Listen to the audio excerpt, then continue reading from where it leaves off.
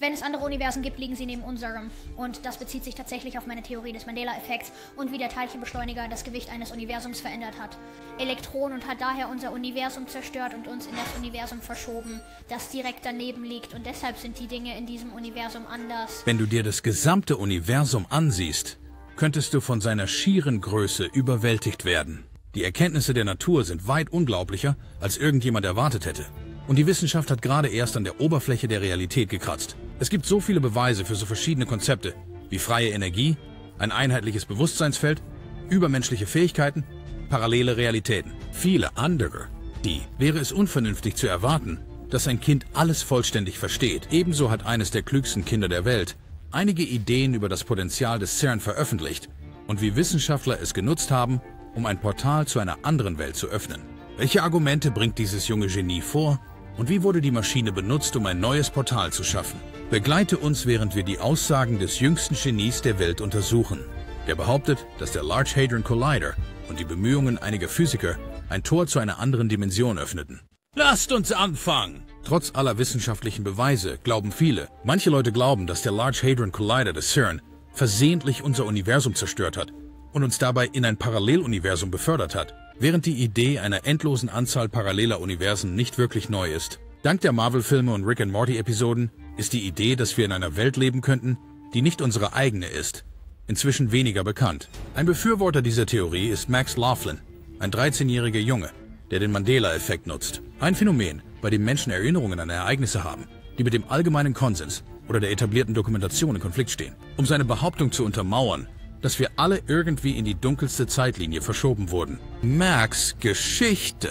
Der junge Teenager wurde als Genie bezeichnet. Als Laughlin dieses echte Energiegerät erfand, das der Welt unbegrenzte Energie liefern sollte, machte es viel Aufsehen. Und da beginnt das erste Problem in dieser Geschichte. Du fragst dich vielleicht, warum du noch gehört hast. Du musst zwischen zwei Theorien wählen. Erstens, das Gerät hat nie funktioniert und zweitens konnte es in keiner Weise nützlich hochskaliert werden. Zweitens, eure Regierung hat dafür gesorgt, dass ihr nie von Max Laughlin oder seinem unglaublichen freien Energiegerät gehört habt. Woran glauben schlaue Erwachsene? Warum funktioniert die Max Laughlin freie Energiemaschine noch nicht in deinem Zuhause? Die meisten Blogs, die über Laughlins Genie sprechen, würden sagen, dass der zweite Grund wahr ist. Aber Max würde dich glauben lassen, dass es aus einem ganz anderen Grund ist. Max und der Mandela-Effekt. Vielleicht ist es das Ergebnis des Mandela-Effekts. Schon mal davon gehört? Das ist der universelle Grund, den Menschen angeben, um Dinge zu vergessen. Und es ist zu einer Pseudowissenschaft geworden. Max versucht dir in diesem Video zu zeigen, wie das möglich ist. Ich meine, manche Leute in dieser Realität denke ich, äh, ich versuche immer noch herauszufinden, warum sie sich nicht daran erinnern. Aber wie auch immer, das ist der Mandela-Effekt und wir leben in einer alternativen Expansion. Es geht darum, wie Elektronen explodieren und wie sich die Zeit bewegt. Und vielleicht lebt ihr heute in einer ganz anderen Welt als noch vor einigen Jahrzehnten. Wir werden uns nicht mit diesen Argumenten beschäftigen weil du entweder ein großer Fan des Mandela-Effekts bist oder du damit zurechtkommst, dass Menschen Dinge vergessen. Aber es ist faszinierend, einem kleinen Kind zuzusehen, wie es leidenschaftlich einen Standpunkt verteidigt. Was sagt Laughlin über die vergessene Welt? Und was sagt sein Vater später im Video? Es ist nicht einfach. Das Anschauen des Videos könnte Max helfen, dir die ganze Geschichte zu erzählen. Es ist irgendwie so. Ihre Idee ist, dass der Large Hadron Collider, der von der Europäischen Organisation für Kernforschung, oder CERN, gebaut wurde, uns alles vergessen ließ. Ja, der Wunderjunge sagt, dass der Mandela-Effekt durch die Suche nach Kernfusion verursacht wurde, die unser altes Universum zerstört habe. Aber bevor du dich auf eine Debatte einlässt, solltest du dich besser informieren. Ja, es ist ihm wirklich wichtig. Aber vielleicht muss er erwachsen werden, damit sein Eifer mit Einsicht und Weisheit übereinstimmt. Laughlin sagt einmal, dass die Leute von Anfang an dachten, CERN sei eine schlechte Idee. Schon als wir daran dachten, es zu starten, wussten wir, dass unser Universum implodieren würde. Nein, nicht ganz. Laughlin sagt nicht, woher er seine Informationen für diesen Vortrag hat, obwohl Physiker ihre Eigenheiten haben können. Wir glauben nicht, dass sie geplant haben, alle umzubringen und dann internationale Regierungen dafür bezahlen zu lassen. Ihm ist auch egal, was das CERN macht. Das versucht, dasselbe auf der Erde zu reproduzieren wie im Weltraum. Der Large Hadron Collider wird verwendet, um diese Reaktion zu ermöglichen. Und es wäre schade, wenn Max Intelligenz in die falsche Richtung ginge. Stell dir vor, was er tun könnte, wenn er seine Meinung änderte. Ein echtes Problem. Die Liebe zur Wissenschaft ist da, die Basis ist schon vorhanden. Er ist ohne Zweifel ein kluger und kreativer Junge. Wir sind uns nur nicht sicher, ob er richtig gelandet ist. Es sieht so aus, als hätten Laughlin und sein Vater den ersten Satz jedes wichtigen Artikels auf Wikipedia über die Multiversum-Theorie genommen und sie alle zusammengefügt. Sicher, wir könnten Laughlins Ideen tagelang oder sogar wochenlang auseinandernehmen. Die YouTube-Kommentare hingegen machen einen großartigen Job dabei, seine Punkte aufzuschlüsseln. Wir erwarten auch von jedem, uns in den Kommentaren mitzuteilen, was er denkt. Und Max ist nicht der Einzige, der schuld ist.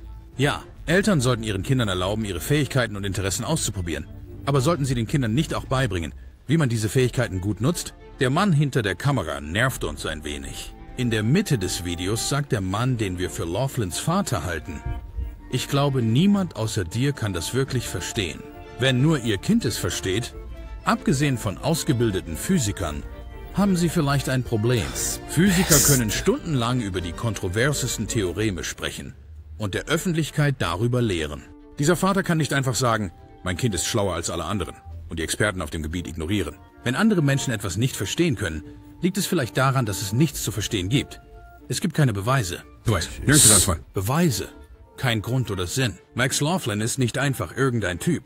Er ist wahrscheinlich die klügste Person der Welt. Und er sagt, er hat Beweise, dass CERN das Universum ruiniert hat. Universum. Laughlin sagt, dass die jüngsten Experimente am CERN das Universum zerstört haben. Und deshalb leben wir jetzt in einem parallelen Universum, das direkt neben unserem existiert. Die Wissenschaft beginnt gerade erst zu begreifen, wie die Realität aussieht. Aber das, was sie bisher gefunden hat, ist schockierender, als wir uns je vorgestellt haben. Quantenverschränkung, ein einziges Bewusstseinsfeld, freie Energie, übermenschliche Fähigkeiten, Singularität, Paralleluniversen und andere Realitäten sind alle ein Beweis dafür. Das alles ist so erstaunlich, dass man nicht glauben würde, dass ein Kind es verstehen könnte. Aber vielleicht brauchen wir ein Kind. Jemanden, der mutig genug ist, verrückte Ideen und Theorien zu denken, denn ein Großteil der Welt, in der wir heute leben, wurde auf solchen aufgebaut. Max Laughlin ist kein einfaches Kind. Er könnte der klügste Mensch der ganzen Welt sein. Er hat ein Energiegerät gebaut, als er erst 13 Jahre alt war. Das ist etwas, das der ganzen Welt kostenlose Energie geben könnte. Er wurde auf der ganzen Welt berühmt für seine brillanten Ideen und Ansichten über interessante Themen wie die Natur des Universums und verschiedene Realitäten. Aber jetzt denkt er, dass CERN unser Universum zerstört hat und wir in einem Paralleluniversum leben, das unserem am nächsten war. Er meint, dass dies den bekannten Mandela-Effekt verursacht hat. Der Mandela-Effekt tritt auf, weil Menschen sich Dinge anders merken. Wenn viele Menschen bestimmte Ereignisse anders in Erinnerung haben, als sie jetzt in Geschichtsbüchern stehen. Die Leute schwören darauf, dass das, was ihnen in Schulen und Universitäten beigebracht wird und was sie mit eigenen Augen gesehen haben, nicht dem entspricht, was jetzt gesagt wird. Es sieht aus wie eine seltsame Art von Massenwahnsinn. Der Mandela-Effekt bekam seinen Namen nach dem Tod von Nelson Mandela im Jahr 2013. Damals begannen Tausende und Abertausende von Menschen im Internet darüber zu schreiben, wie Nelson Mandela in den 1980er Jahren im Gefängnis starb. Daran erinnerten sie sich sehr gut. Und warum würde jemand der Welt erzählen, dass er wieder gestorben ist? Aber im Jahr 2013, Psychologen waren nicht auf diese Art von Massenwahn vorbereitet, die passiert, wenn viele Leute gleichzeitig dasselbe sagen, ohne einen klaren Grund oder Nutzen. Es gab nur eine kleine Sache.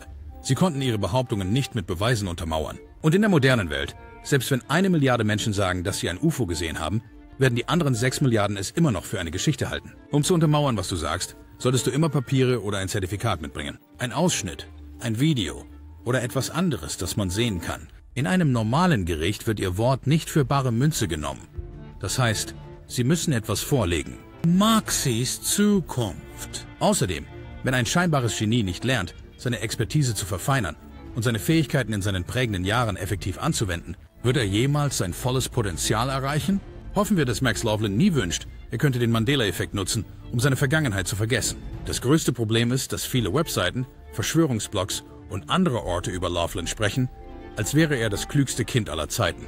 Je öfter er das Wort hört, das ihn beschreibt, desto weniger wahrscheinlich ist es, dass er die Dinge hinterfragt. Einstein, sogar Reden und selbst der seltsame Elon Musk haben sich von dem Wort Genie distanziert. Wenn du denkst, dass du alles weißt, hörst du auf, über alles nachzudenken Sogar über dich selbst. Selbst im Video hat Max immer noch Schwierigkeiten mit Fragen, auf die er keine Antwort weiß. Anstatt sich auf das Universum zu konzentrieren, könnte Max die Welt um ihn herum beeinflussen. Hoffen wir, dass sein Vermächtnis konkreter wird als abstrakt. Das ist dann auch schon alles für dieses Video. Danke fürs Zuschauen. Was sind also deine Gedanken zu Max Sicht auf das Paralleluniversum? Teile es uns unten in den Kommentaren mit. Stellen Sie sicher, dass Sie diesen Kanal mit einer Glockenbenachrichtigung abonnieren wenn Sie unsere Inhalte gerne sehen. Wir laden hier einige großartige Sachen hoch, die Ihnen mit Sicherheit gefallen werden. Gib diesem Video ein Like und hinterlass unten einen Kommentar. Wir sehen uns im nächsten Video.